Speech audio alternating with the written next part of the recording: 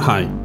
If you're on Instagram and are interested in synths, there's still a chance you may have seen a few animals crop up in your feed. In this video, I sit down with a person behind the Instagram account Animals and Synthesizers and dissect a few of his videos to see what synth tips and tricks lay beneath the surface.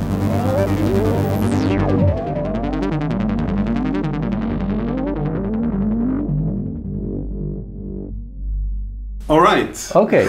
So we're here with animals and synthesizers. Let's just say hi. This is me. Uh-huh. And you have to wave your hands. Yeah, otherwise people won't believe we're here. Good, we're here. So it's two of us here. Uh, my name is Tomer. I'm a musician, sound artist. I make electronic music. I used to be a pianist. Uh, now I make some film scores, music for plays, music for dance, stuff like that. And I also make music for animals, uh, animals videos. I make short, uh, these short electronic scores. What made you start this?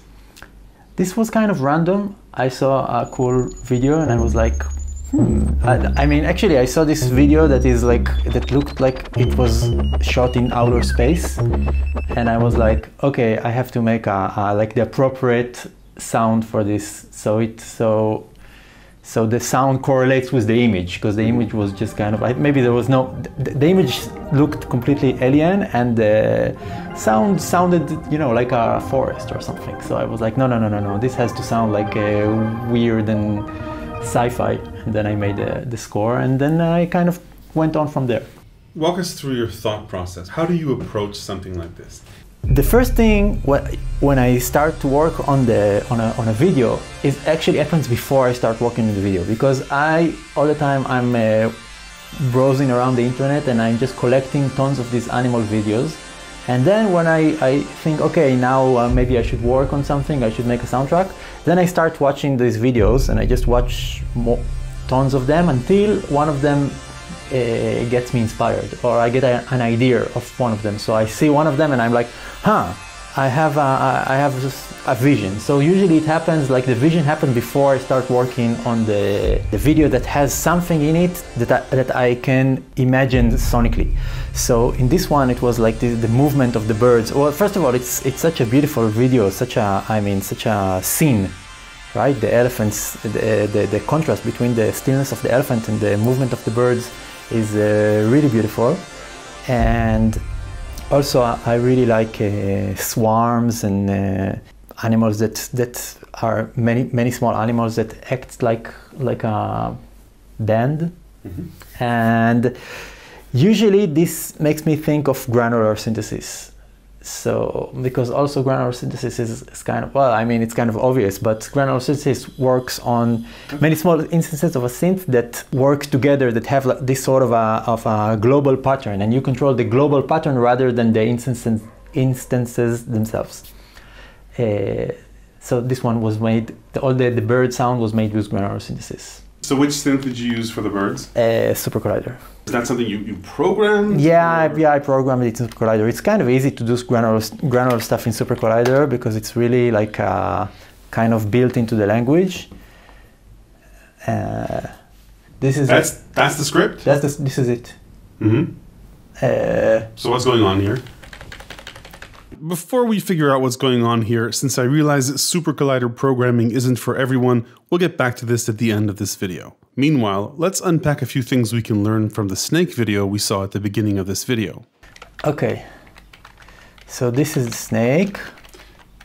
The automation looks like the diamonds of a, of a snake back. Yeah, well, it actually it goes. The automation is is really. This was really. Uh, this really took me a while because I was drawing the automation according to the movement of the tail. You see, and so uh, you can hear just just this.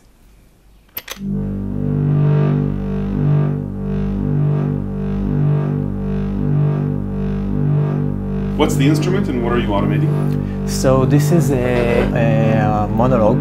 I'm using three plugins. Yeah, I'm using a wave folder, a grind, which is a, it's kind of a distortion, and a filter. I think these two these two uh, distortions are, are cool that I'm using here. So this is a nice, uh, a nice distortion plugin, and this is a, uh, also a nice distortion plugin. This is Meld the wave folder. Yeah, yeah, wavefolding is really cool. I, I discovered it recently. Yep. So here there are actually, you see there are two graphs. This, this took me ages to, to do because I was really going frame by frame. Uh, this was really hard to find the rhythm of the, of the snake, of the tail, because mm-hmm. it's not exactly constant. Uh, and in the beginning, I was trying to synchronize a, a, like an LFO with tempo, but this was really not working. So eventually, I just just did like one point at a time, and the, you have like one LFO which is like left and one LFO which is right. One one uh, envelope goes is, is left and one is right. So you see when the snake goes left oh, and okay. one when the snake goes right. Mm-hmm. Because I didn't want it to be that when he goes left the filter is open and when he goes right the filter is closed because this wouldn't make sense. I wanted it to I don't know somehow open in both directions but sound different. So what are the parameters that you're automating here? So uh, one is the drive of the wave, wave folder and the other is the character of the wave folder, and then the another one is the wet for the grind distortion. So there are actually mm-hmm. two kinds of distortions, and one of them is is picking uh, when he goes left, and the other one is picking when he goes right. Nice. So so it has like a so it doesn't it doesn't it doesn't sound like wow wow it sounds like wah yeah wah yeah you know like different. They move into each other. One yeah. one moves into another.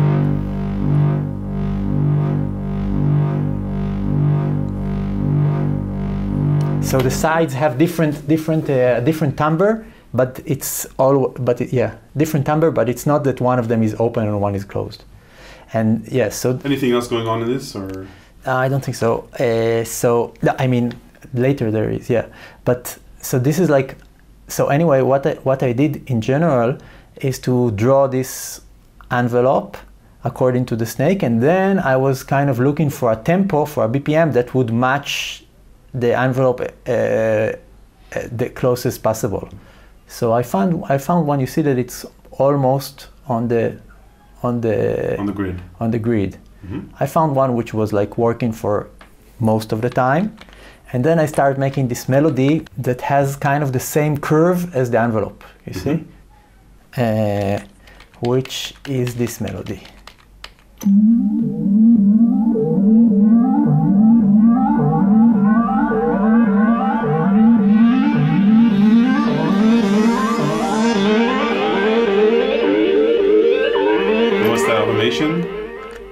This is filter.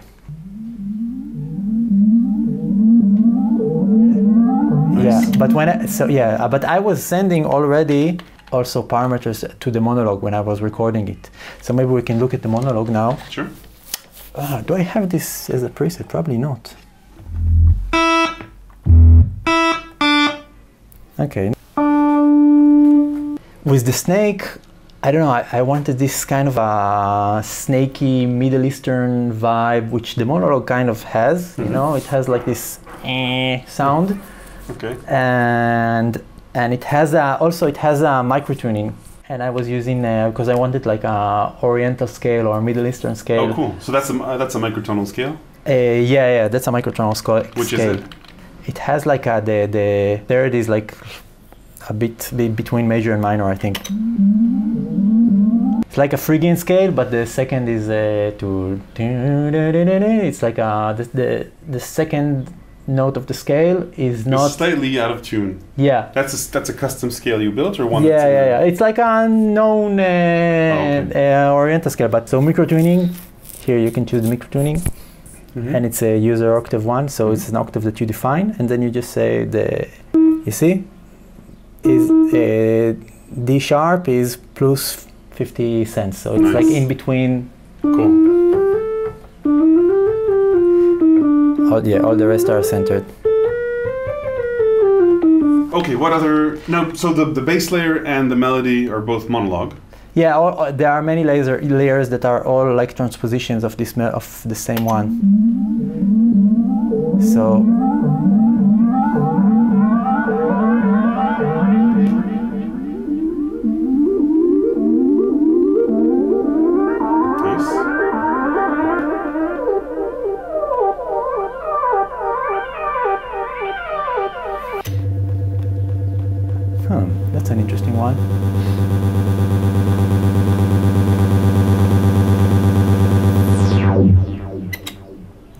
for the. This was for the.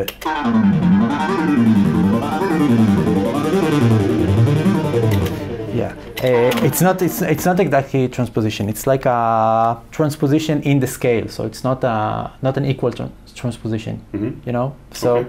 You wrote them individually? Yeah, I just transpose them up, but but then you have to keep them in the scale because if you just take them up, then uh, Yeah, it sounds bad.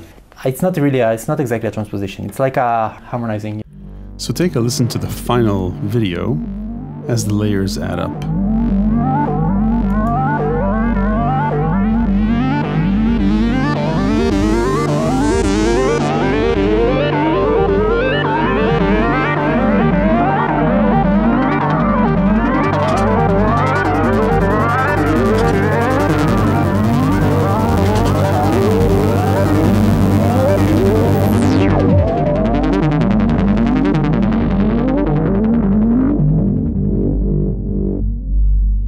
Okay, next up, let's look at two lessons learned from one of the most popular clips on the channel. The first is to wait for the right sound.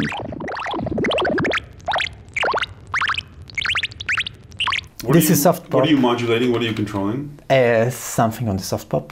How did you? Con- it doesn't have MIDI, so you sent CV out somehow. I sent MIDI and then I had a module that does MIDI to CV. So this yeah, it's very bubbly. So yeah. So this is the this is the CV. This is this, this is an envelope that I did that follows the, the mouth opening and closing of the hippo. And you see, and then I just recorded. You see, I, I just recorded this in a loop. Yeah, and played with the parameters Mhm. while I was doing it, and recorded many layers. And then I, I picked I picked a, a take because I have I have different takes here. This sounds a bit different. Yeah, they all sound kind of similar, but this is the one that I picked. And what else is going on here? So you had this video there because you had to time it to the video. I was doing all kinds of experiment because I was trying to make something to find something that will work with the hippo, mm-hmm. and I already made the envelope, but then I was not happy with the sound. And then I had like the couple of hours at Bastl with the Softpop, and I was like, ah, I can just use this envelope on the Softpop. Then it took me like two hours to plug it to make it to, to make it work, and then just and then pretty fast to Nice. to take it. And I think there is also is there yeah there is also this happening here. This is like to make it sound more authentic. Yep. It's just a, a white noise with a with Filter. a filter. Yeah. So it Nice. looks like like it's like it's a a shot, you know, because otherwise it sounds it doesn't look right. It looks Yeah. like less. It doesn't sound Yeah. nice. So the ambience adds. Yeah, yeah, yeah. I, I, nice. I have many times, like when I try to to make it sound like uh, like it's happening, like it's actually the animal. So I add some ambience, or sometimes I make like I really synthesize like birds and animals and stuff like that. But nobody noticed it, so no, I mean it's it's noticeable when you take it out. yeah. This one was really easy to make. It was one of the fastest ones because the, the this cheetah is just running at a constant pace. So Mhm. I was just I just tapped with the cheetah and I had the BPM which is 175 apparently. Yeah, and this is just the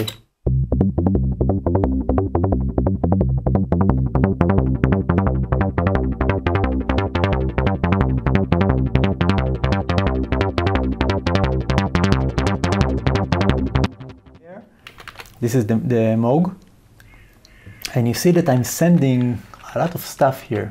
What am I sending? All of these are automations on the Sirin, Yeah, these are the notes. and it seems like you you played them in, not programmed in manually. So you use the Sirin to program the automations.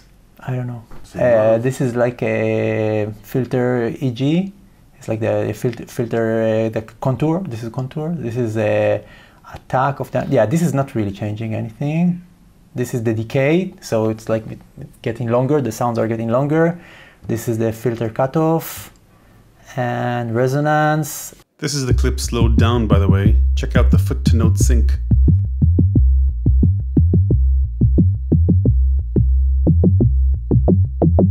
And there is another layer that uh, is kind of like a con- counterpoint, which is also it's again the Moog with the filter opening us together, it's like.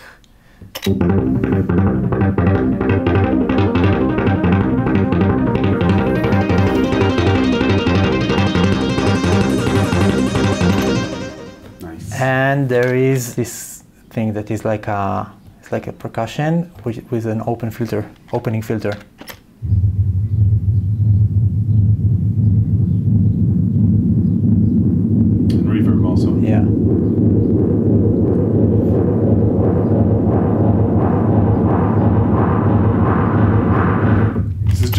Resonance sweeping. It's, yeah, Yeah. yeah, just the resonance opening and uh, just this, and well, without it, this is like a pink noise with an envelope.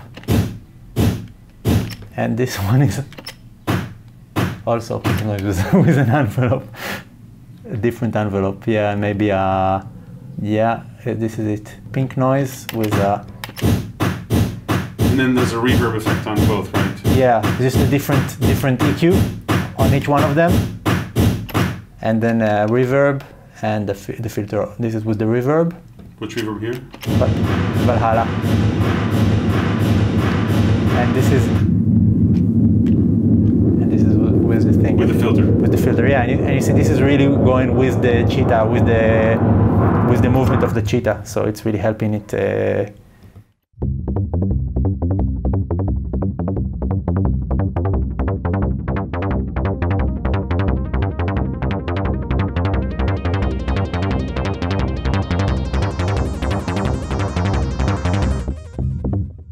Next clip, I think, very well demonstrates complex sound design with a single macro on a two oscillator synth.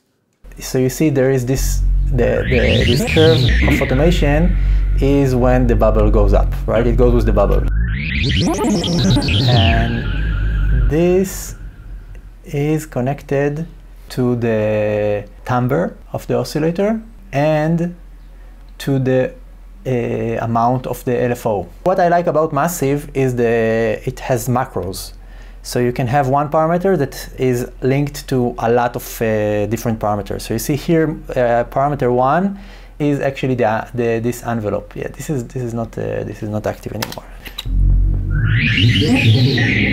So this envelope is connected to a macro. To a macro, yeah. To, this envelope is connected. to macro number one, Mhm. And macro number one, you can see first of all, it's connected to timbre. It's like the, the wavetable position and intensity of the first oscillator. This is like a this is a step sequencer that is connected to the pitch of oscillator one. So when the when macro one is zero, this is actually zero, and then the pitch is, stays the same. But when macro one is going up, then it starts doing this. Mhm. Right now it's not affecting, but now it's affecting. And there is another one. That's the modulation depth. This, this is the modulation, yeah, yeah, modulation depth, exactly. So there are two step sequencers Mhm. going here in parallel. One of them, the, the mm, depth of the modulation is uh, controlled by macro 3. And this one is only happening on the second and third time. And then there is the second oscillator, the frequency is also connected to this step sequencer, but this one is controlled by macro 2. So macro 2 is only happening in the end when the lizard is moving. See, so there's another sound coming. Uh, uh, yeah. So this one, so actually, all of these different sounds are happening from one instance of massive, and just with modulation of macros, you can completely change the sound and, and Amazing. and make it make a real development. I think this is what's cool about synthesizers, right? Is that you can take them from one mode to the next mode through everything. So this entire clip is basically just two oscillators being modulated differently. Uh, yeah, and the and there is here you see this is a, a little envelope. Uh, this is pitch bend, Mhm. so it goes also a little bit up with the pitch because here. Play this project again? Now that, we, now that we sort of know what's going on, play it again just at a slower tempo, and the video as well in a slower tempo. Uh, possible? yeah, I th- let's see Half what speed. let's see what will happen.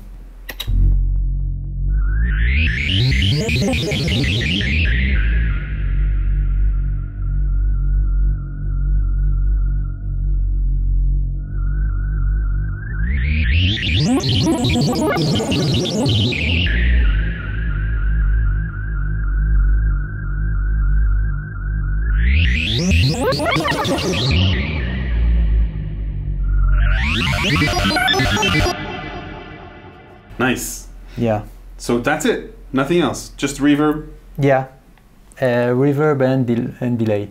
Okay, in this next video, we'll look at synthesizing a forest. Ignore the main actor, if it's possible, and listen to the background.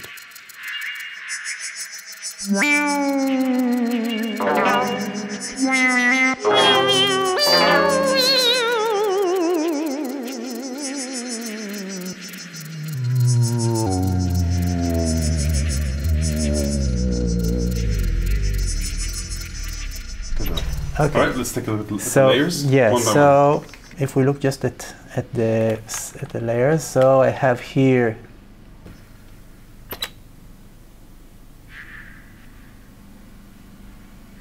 see it's it's very soft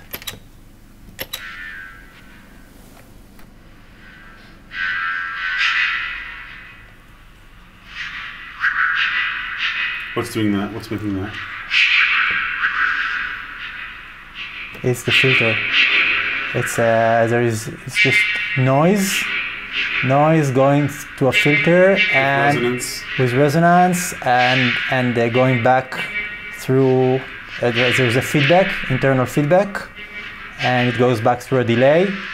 And the feedback amount is modulated and the, the cutoff is modulated and the bandwidth of the bandpass is modulated. And how is it modulated? You see this is kind of a weird shape Mhm. that is modulating the the resonance, the bandwidth, and this is a weird another weird shape that is modulating the, the filter cutoff. And yeah, it's a bandpass filter, and this rate, the rate of both of them uh, is also modulated. So it's so it's it doesn't uh, re- loop, Doesn't okay. Right? So the rate of the modulation always is is also modulated. hmm Uh, What's modulating it? uh, LFOs. So this is L- the LFO. This, this LFOs. LFO, yeah, just sine LFOs. This LFO is modulating this weird shape, and the other LFO is modulating this weird shape, and the rate of this weird shape. And yeah, one is going to cutoff, one is going to bandwidth. Uh, there is also uh, it's also on the on the, the the same one that is modulating the cutoff is also side chaining the the amplitude. So Nice. it's only it doesn't come out all the time, but just according to this graph. hmm And and also the other one is also affecting the f- feedback feedback amount. I think this is this is it. Yeah, this is what's happening. And that's here. just one layer. this is one layer. Yeah. Okay. So so this this is the sound that it's making, and and all of them are very soft.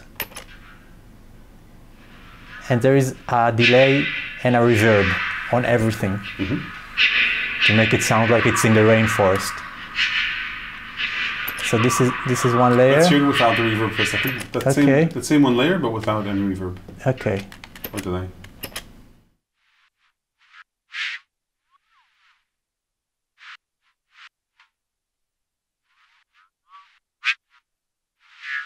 Cool. Okay. Okay, it's just a noise. Mhm. And this is another uh, layer. It's actually very similar. Ah, and I see that I'm, I'm modulating here something. I wonder what it is. What, what do these do? Ah, this is the time of the delay and the amount of feedback. Mhm. So this is this, it's like external modulation, it's extra modulation. You see these two graphs? And this one is very similar. Yep. Okay. and another one which is also very similar. And this is this is the three together. Uh, one is turned all the way left one is turned right and one is center. Nice. so they make this kind of this is like kind of a i don't know bugs. I think this they were supposed to be the bugs Mhm. like insects.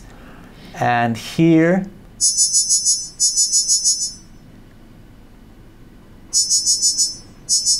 it's like this kind of a bird. Hmm it's also you see it's also massive and yeah you see so this there's an LFO that is affecting the global volume and it's kind of a it's a weird uh, oscillator two oscillators. Wavetable. yeah and here is another one. A wave wavetable one of the wavetable shape is called cicadas. It kind of just makes this sound. So and then everything together is like this And you see one is this one also they are a bit different with the pen. And then if you add again the Amazing.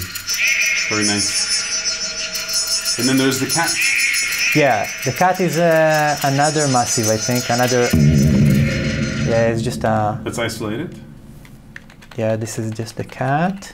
Uh, it's, it's really soft. The the. Yeah, of course. So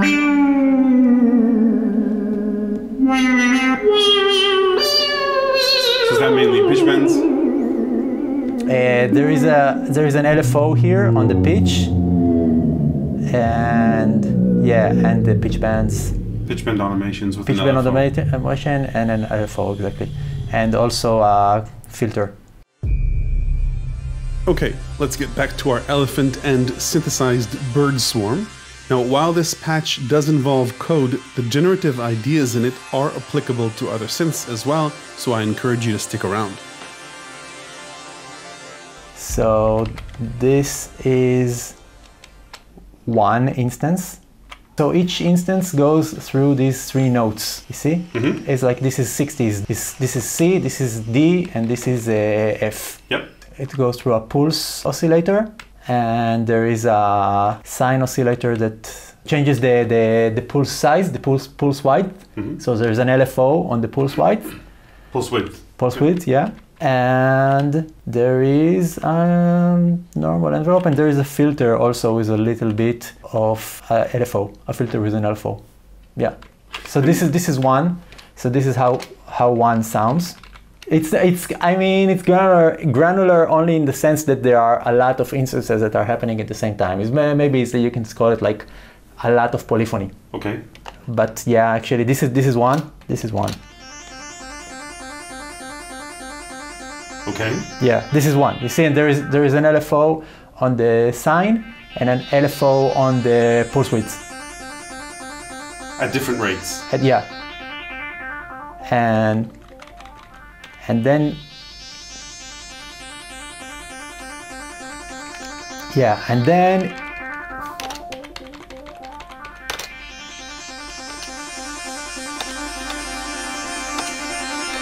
Just multiply. yeah, just add more instances. this is more, more, more. So now there are like 12 instances happening at the same time. And now I add, I add an, another instance which is a fifth above. And this is a, an octave above. And this is an octave below. And this is a fourth above. And now, yeah, now I have like 24 instances happening at the same time. And it's just this, this line.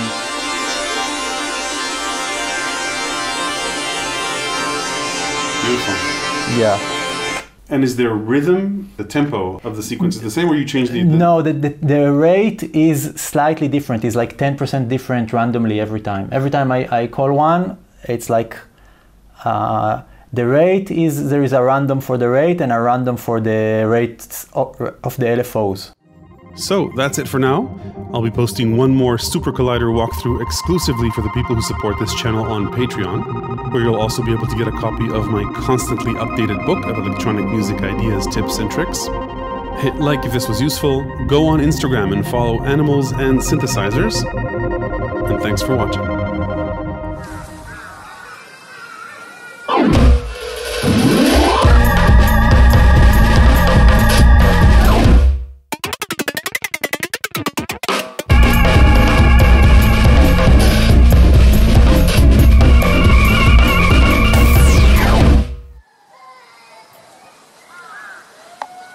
Is this